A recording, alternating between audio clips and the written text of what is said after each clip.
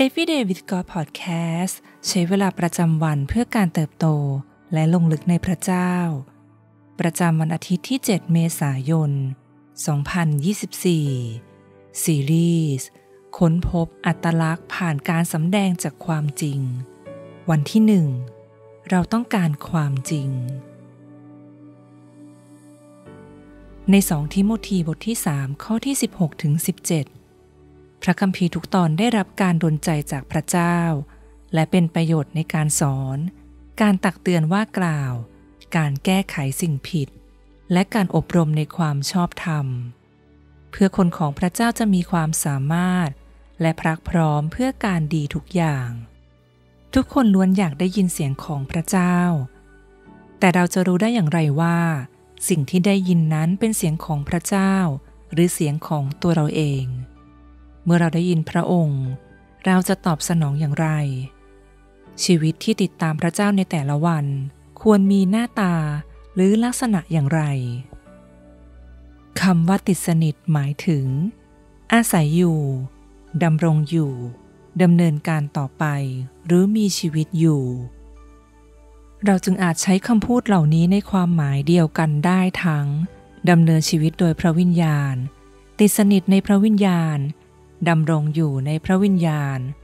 และดำเนินต่อไปโดยพระวิญญาณ ทั้งหมดนี้มีความหมายเหมือนกันกับคำว่า ติดสนิท ก่อนที่เราจะดำเนินชีวิตโดยวิญญาณ มีพระวิญญาณทรงนำหน้าอย่างแท้จริง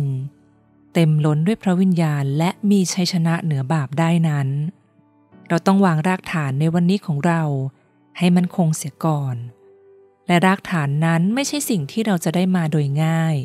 หรือผ่านชีวิตที่เหยาะแยะ แต่เราต้องตายเสียก่อน เราต้องตายต่อตัวเองอย่างต่อเนื่อง ก่อนที่เราจะติดสนิทในพระวิญญาณ และดำเนินชีวิตโดยพระองค์ได้ พระเยซูทรงอธิบายอย่างชัดเจน ในลูกาบทที่ 9 ข้อที่ 23 ถึง 24 ว่าผู้ติดตามของพระคริสต์ที่ยอมจำนนมอบทุกสิ่งที่มีให้แด่พระองค์นั้น ควรมีชีวิตเช่นไร พระองค์ประกาศว่า ถ้าใครต้องการจะมาติดตามเรา ให้คนนั้นปฏิเสธตนเอง รับกางเขนของตนแบกทุกวัน และตามเรามา เพราะว่าใครต้องการจะเอาชีวิตรอด คนนั้นจะเสียชีวิต แต่ใครยอมเสียชีวิตเพราะเห็นแก่เรา คนนั้นจะได้ชีวิตรอดเราถูกเรียกให้ตายต่อตัวเก่าของเราทุกวัน หรือหากจะกล่าวให้ชัดเจนยิ่งขึ้น เราต้องตายต่อตัวเองในทุกช่วงเวลาของชีวิต และสิ่งนี้ทำได้โดยการพึ่งพระเยซู และฤทธิเดชของพระวิญญาณบริสุทธิ์ในตัวเรา อย่างเต็มที่เท่านั้น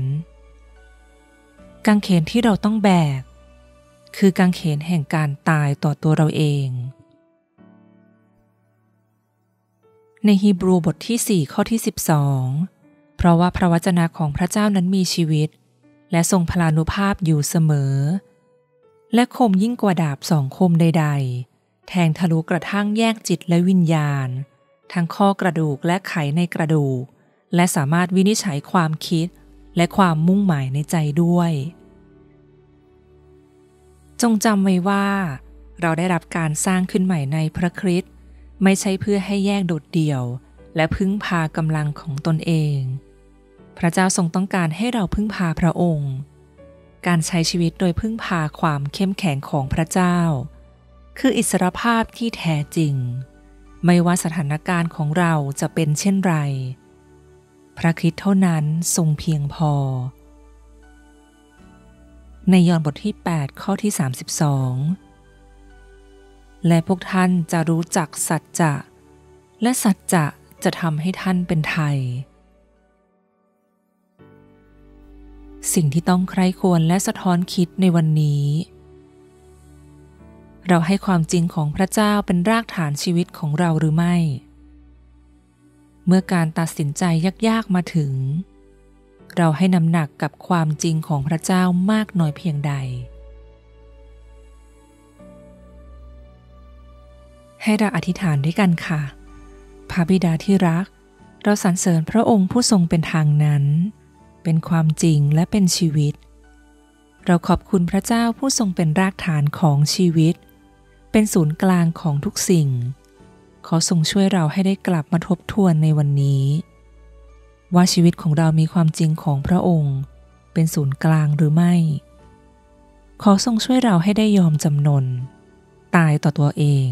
แบกกางเขนของพระคริสต์และเดินติดตามพระองค์ต่อไป เราอธิษฐานในพระนามพระเยซู เอเมน